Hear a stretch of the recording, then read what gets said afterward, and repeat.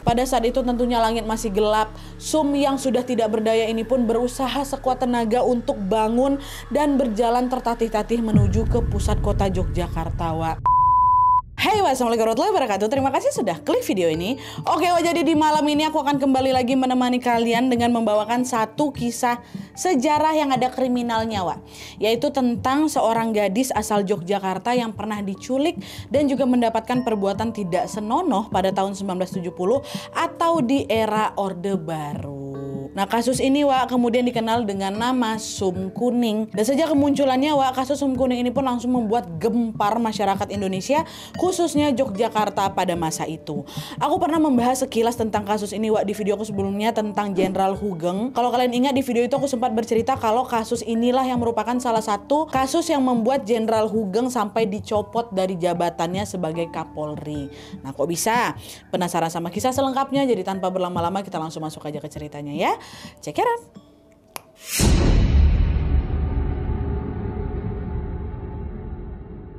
Oke, Wak, sebelum aku masuk ke kronologi kisahnya, aku akan menjelaskan dulu latar belakang dari Sum Kuning ini. Jadi, Wak, Sum Kuning ini lahir di sekitar tahun 1952 atau 1953 dengan nama asli Sumariem atau biasanya dipanggil dengan sebutan Sum. Tidak diketahui kapan memang tahun kelahiran pastinya, Wak, tapi yang jelas ketika kasusnya ini mencuat di tahun 1970, usia Sum Kuning ini sudah memasuki usia 17 tahun ya.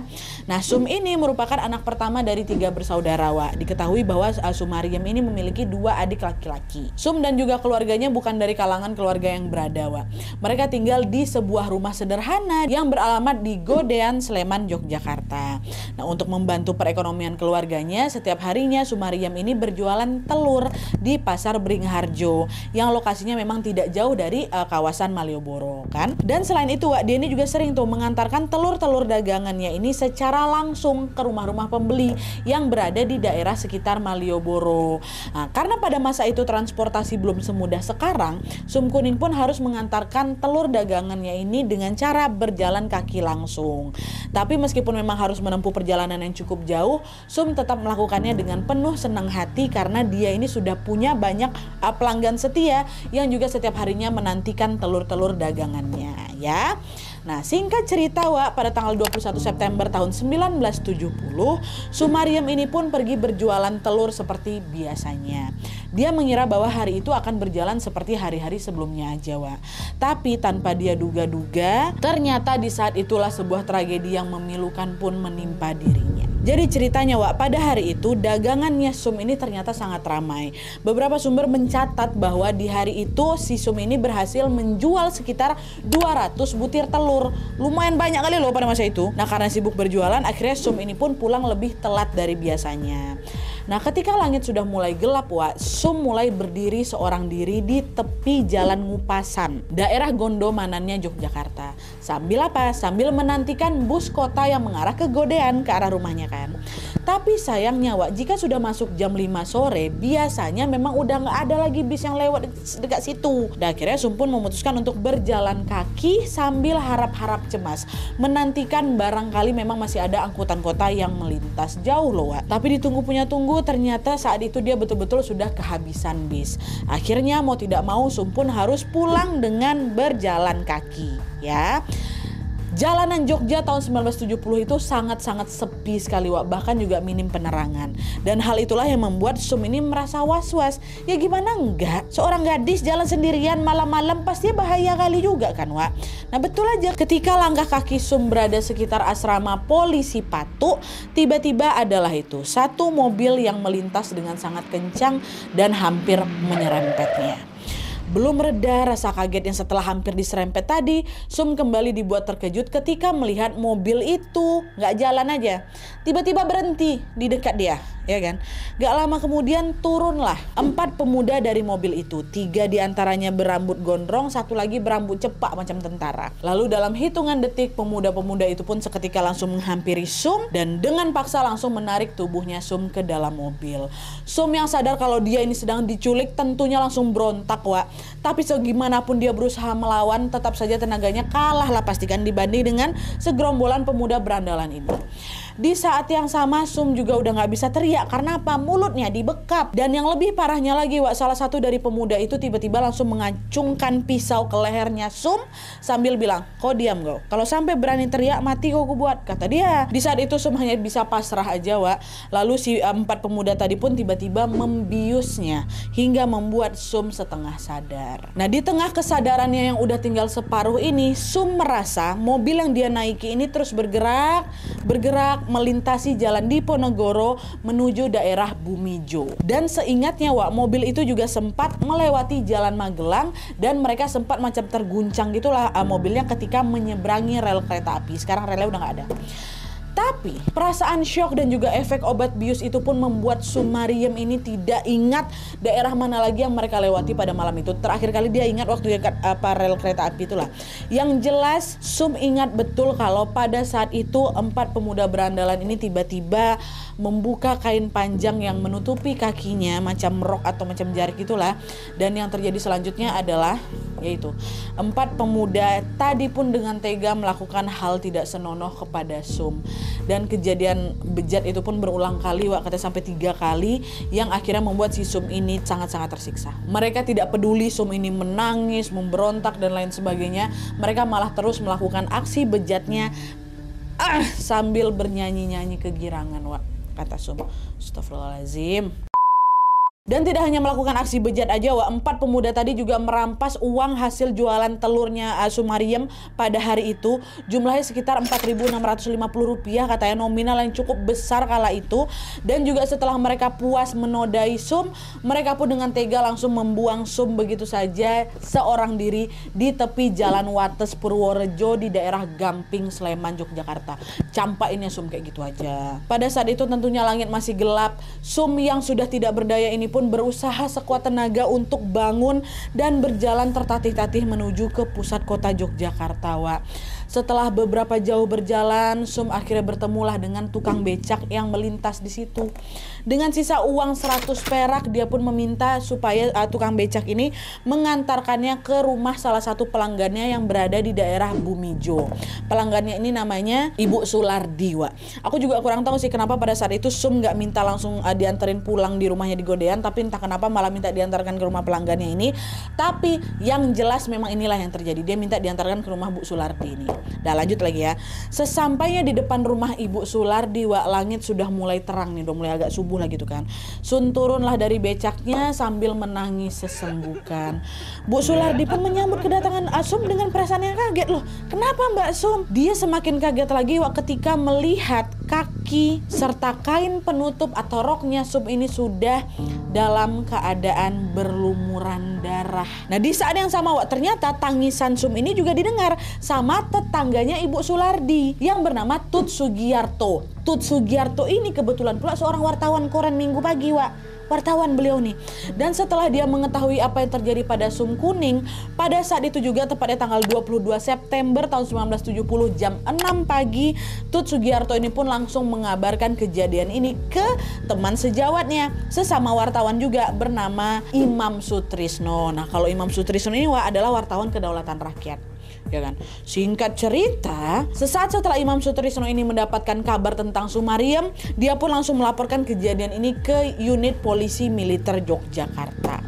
Dari sinilah kasus Sumariem atau yang kemudian lebih dikenal dengan kasus Sum Kuning mulai tersebar, Wak. Nah, bagaimana kelanjutannya? Masuk.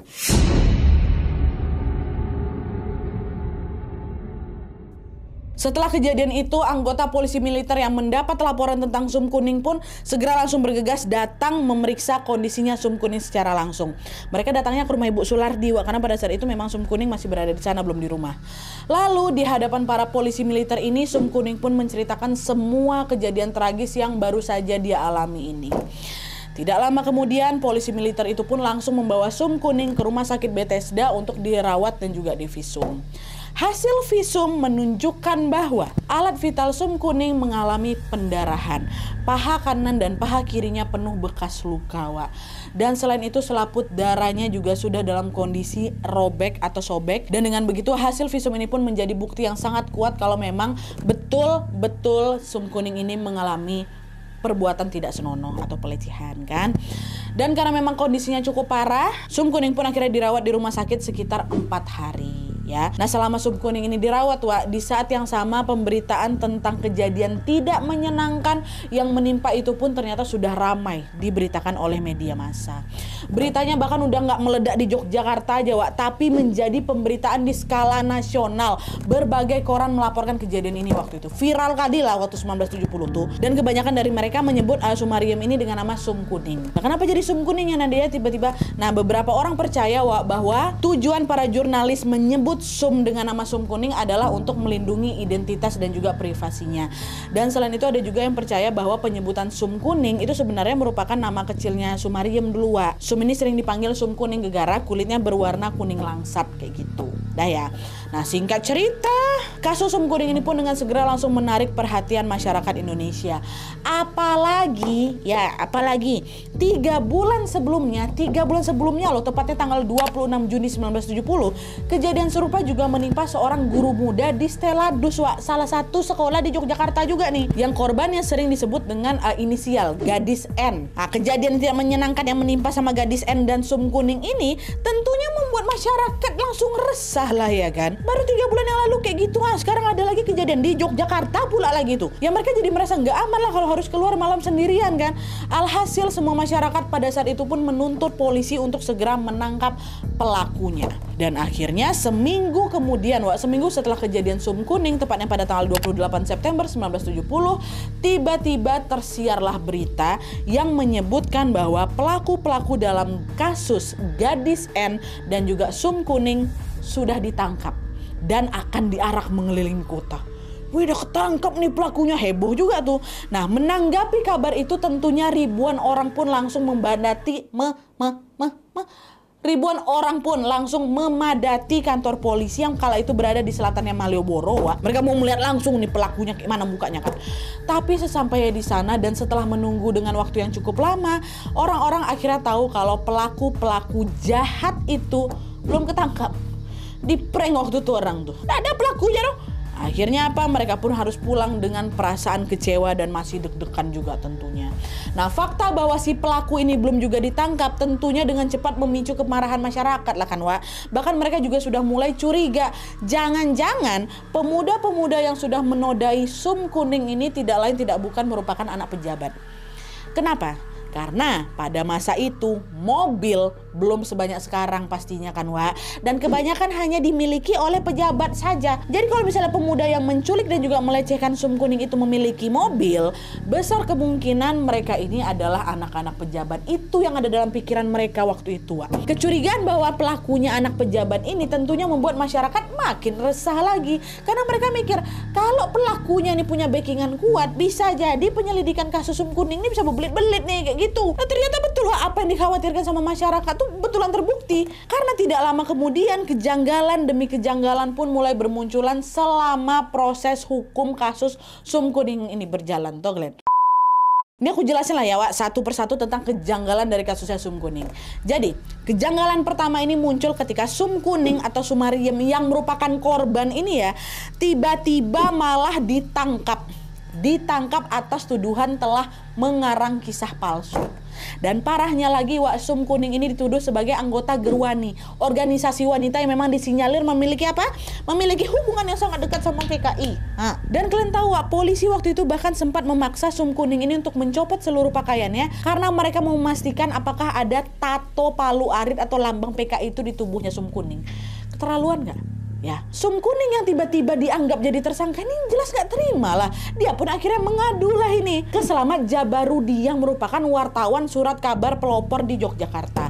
Di hadapan Selamat uh, Jabarudi ini Sum bilang, aku ini korban loh pak. Tapi kok aku malah ditangkap dan dituduh yang bukan-bukan sama polisi. Mereka mengarang skenario lain dari kasusku. Aku juga tidak bisa mengakui skenario karangan mereka itu. Mereka mengancam bakal nyentrum aku pak. Nah, kesaksian Sum Kuning tadi ini wak, langsung langsunglah itu dimuatlah di surat kabar dan ketika surat kabar tadi disebar luas ke masyarakat nih ha dengan segera orang-orang pun tentunya langsung bersimpati pada Sum Kuning murka lah ini ini mereka yakin bahwa oknum-oknum polisi yang sudah berlaku tidak adil pada Sum Kuning ini sebenarnya sedang berusaha melindungi si pelaku. Dan akhirnya kecurigaan masyarakat yang sangat besar terhadap polisi ini pun membuat pihak penegak hukum semakin kebakaran jenggot lagi. Kalian tahu, pada tanggal 16 November 1970, secara mengejutkan Sum Kuning tiba-tiba diseret ke persidangan.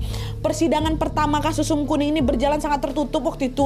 Orang-orang yang tidak berkepentingan tuh dilarang masuk ke ruangan termasuk pers pers dilarang meliput dan hasil dari persidangan itu menetapkan Sum Kuning sebagai tersangka tersangka dan terancam hukuman tiga tahun penjara waktu itu. Dan gak cuma Sum Kuning aja ya, Selamat Jabarudi wartawan yang meliput kasus Sum Kuning tadi tuh ikutan ditahan juga Wak. Dengan tuduhan apa? Sudah membuat dan menyebarkan berita bohong tentang Sum Kuning. Pokoknya pada saat itu ya, siapa pun yang mencoba membela Sum Kuning, haha, dibungkam tuh Glenn. Uh, ya Allah. Nah itu di sidang pertamanya. Beberapa saat kemudian uh, mulailah digelar sidang kedua kan. Dan sidang kedua ini Wak udah nggak tertutup lagi. Akhirnya dibuka nih untuk umum. Tapi ya itu sama macam sidang pertama Wak. Ternyata sidang kedua ini juga penuh kejanggalan. Di mana pada saat itu ya Wak ya entah gimana ceritanya tiba-tiba polisi ini mendatangkan seorang penjual bakso. Namanya Trimo, Mas Trimo kan. Di situ mereka bilang kalau Trimo inilah pelaku yang sudah melecehkan Sum Kuning.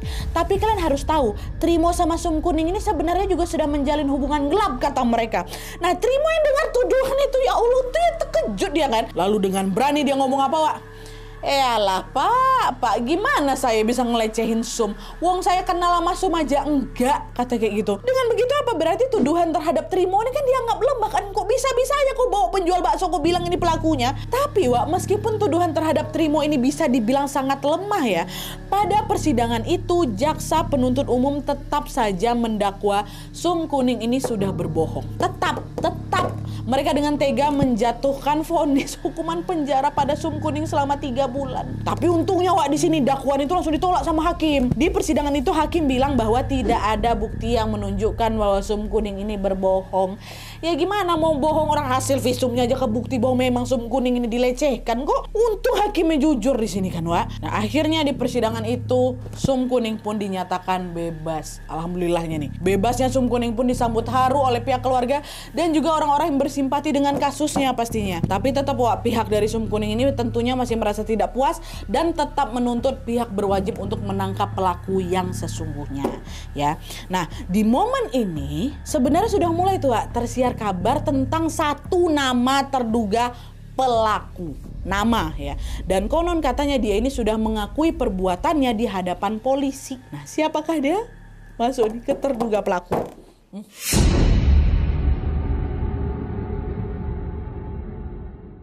Nah jadi Wak, pada saat itu media ini mulai memberitakan satu nama yang diduga menjadi pelaku di dalam kasus Sum Kuning. Dia adalah seorang makelar mobil bernama Budi Dono. Nah konon katanya Wak, di masa awal kasus Sum Kuning ini mencuat, Budi Dono ini sempat nih memberikan kesaksian di hadapan polisi dengan berkata bahwa bapak saya adalah salah satu pelaku yang sudah menodai Sum ya. Dan tidak hanya menyebut dirinya sendiri aja, Wak. Pada saat itu Budi Dono ini juga menyebut tiga nama pelaku lainnya, which is kawan-kawannya juga yang ada di dalam mobil itu. Dalam kesaksiannya Budi Dono ini bilang, aku dan ketiga temanku memang sengaja malam itu mau berburu perempuan. Nah pas lagi muter-muter naik mobil, pada saat itulah kami ketemu sama Sum Kuning.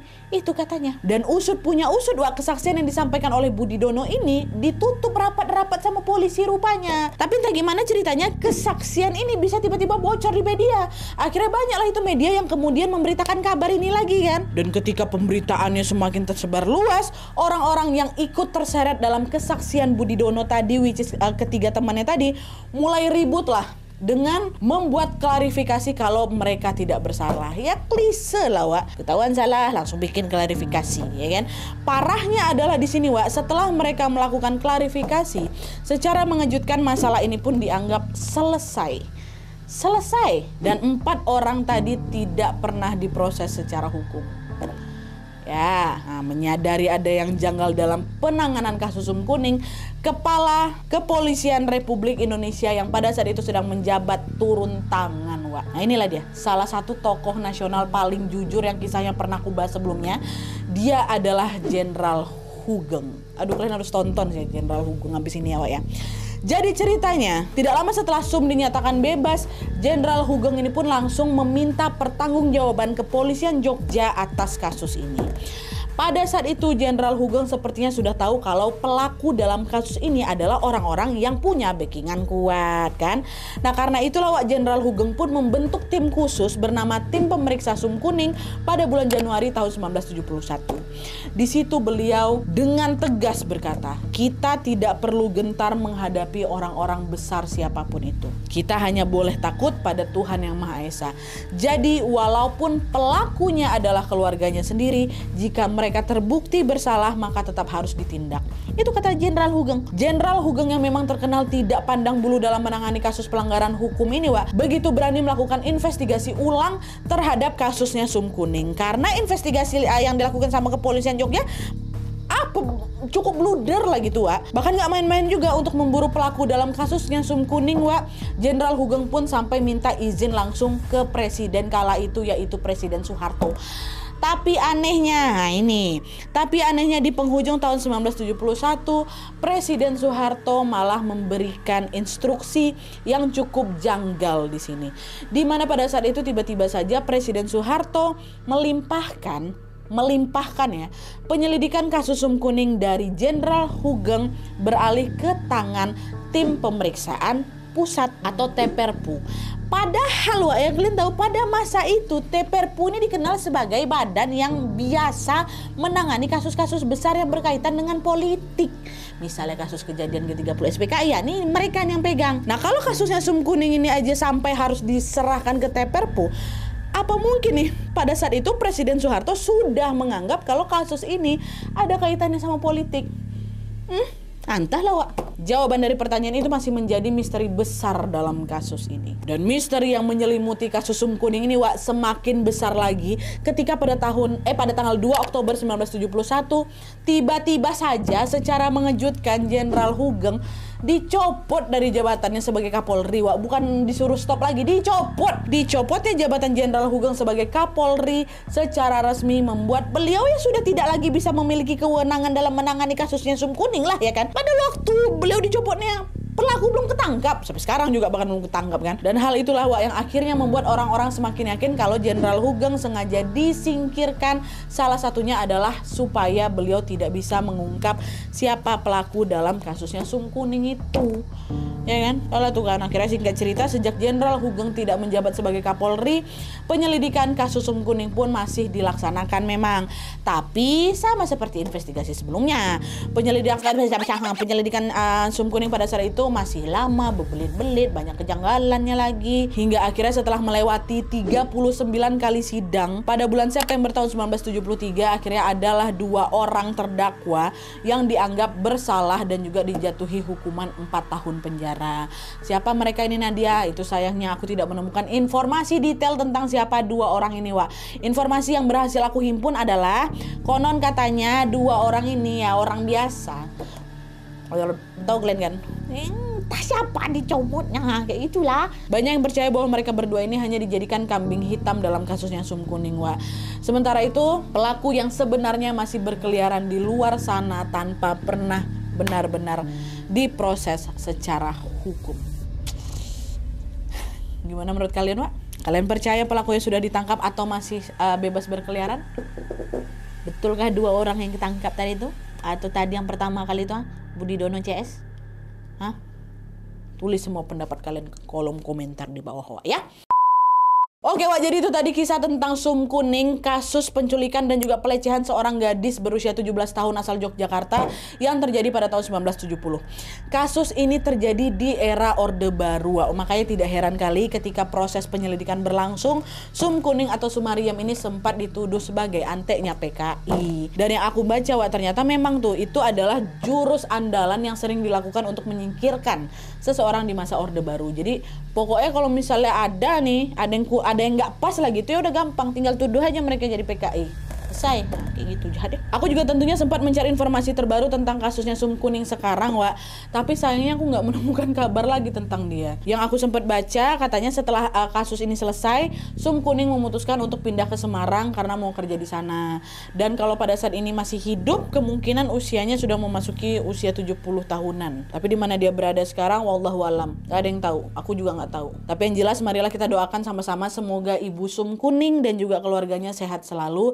Dan semoga Sum Kuning sudah bisa berdamai dengan tragedi yang pernah menimpanya dan juga dapat melanjutkan hidup dengan bahagia. Untuk para pelaku mungkin dia nggak dapat sekarang, nggak dapat ganjarannya sekarang di dunia, tapi akhirat pasti menanti mereka. Tobatlah ya. Oke, wajar itu aja informasi yang bisa aku sampaikan sama kalian. Kalau misalnya ada informasi yang kurang tepat atau kurang jelas atau kurang uh, lengkap gitu, kalian boleh tambahin dan juga perbaiki aja di kolom komentar di bawah ya. Oke, jadi sekian dulu videonya. Terima kasih banyak yang sudah menonton. Kalau kalian suka video ini, klik like-nya. Jangan lupa komen di bawah untuk tidak dan saran-saran untuk video selanjutnya. Jangan lupa nyalain notifikasinya supaya kalian tahu kalau upload video baru and as always jangan lupa untuk klik tombol subscribe supaya kalian sama-sama tahu informasi menarik dan menegangkan dari channel aku. See you next video, bye.